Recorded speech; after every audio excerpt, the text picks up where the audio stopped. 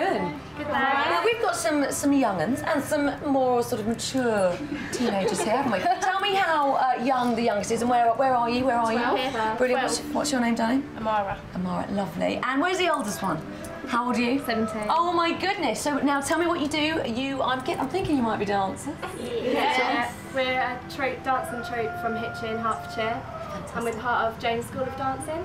Oh, another another punch to the air. Woo! Brilliant stuff. Are you excited about performing in front of these guys? Yeah. I think you're going to wake them right up, aren't you? All right, one, two, three, go, go, go. Revolution! So, can they step up to the judges? Time will tell.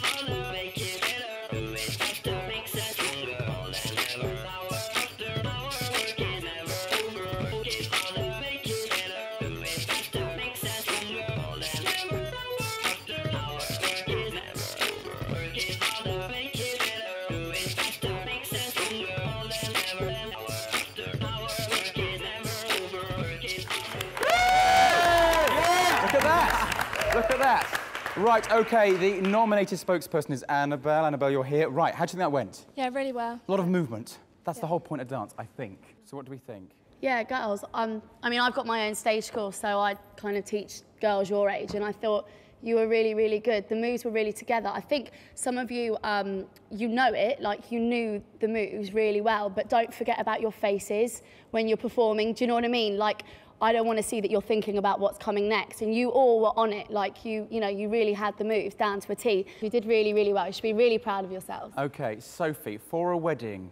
For a wedding, but it's my wedding, it's my wedding, and I loved it. Yes, so- I know, but I also I really enjoyed it and it was like really fun to watch and like you feel like dancing yourself. I felt like busting out some of my moves as well. Please pops. don't. But um, no, it was really, really, really good, girls, and uh, you know it looked like you all had fun and stuff, so I really enjoyed it. Okay, Danny. Girls, you've done a really good job. I wish I could move like that.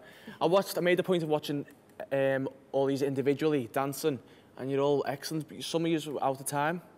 Um, like Grace said, um, it, but you were all on the button with you know with your faces and you know really showing that you can dance. But I, you know, at the end of the day, it's up to Grace whether he's had a win. But I'd have his No, Grace. Grace wears the pants. It's up to Grace.